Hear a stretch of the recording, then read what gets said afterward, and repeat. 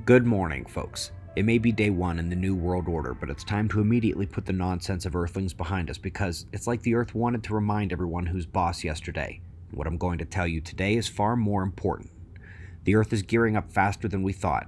By the way, these glitches on the solar images is them rolling the spacecraft to flip which side faces the sun. Now to prepare to flip the mental switch at spaceweathernews.com.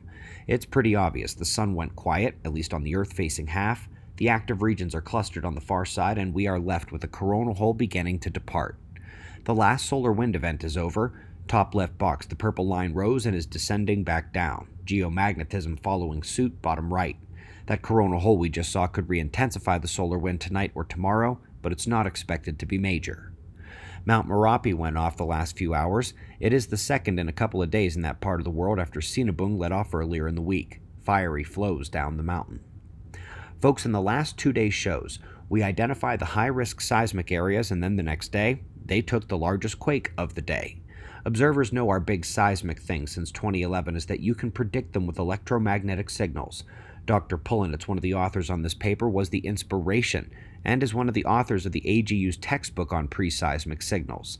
The big 2017 Mexico quake analyzed here is by far our most famous predicted quake, we alerted only about 150 miles around the epicenter. Folks, this is real. You can predict earthquakes. Dozens of people have done it, and it's chapter 7 in our textbook, Weatherman's Guide to the Sun. Now, folks, just as there are little quakes, volcanoes, and meteors as the mini versions of the mega events that occur less frequently, the same is true every day with Earth's rotation. It's not constant.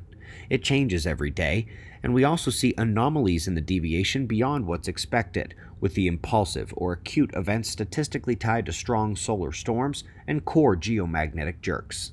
Now, since records began about 50 years ago, the shortest day glitched at about 1.5 milliseconds. This record was broken in 2020, get this, 28 times. 28 times. This is not normal, this is not good.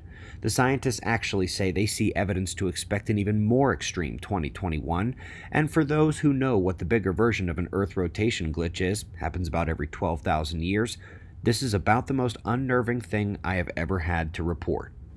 These glitches are tied to the low velocity zone, where solid rock defies logic on top of a liquid rock ocean, and instead of floating around like pieces of driftwood, they are locked together with a thermoelectric plasticity.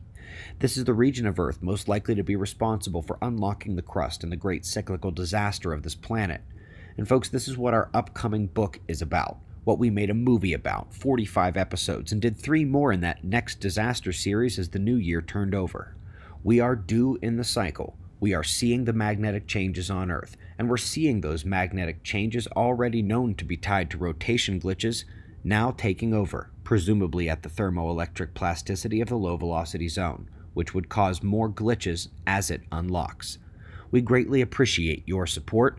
Both our textbook and the pre order of The Next End of the World are at otf.selz.com, and we have decided the ongoing runs are to be the last. No additional ones will be printed.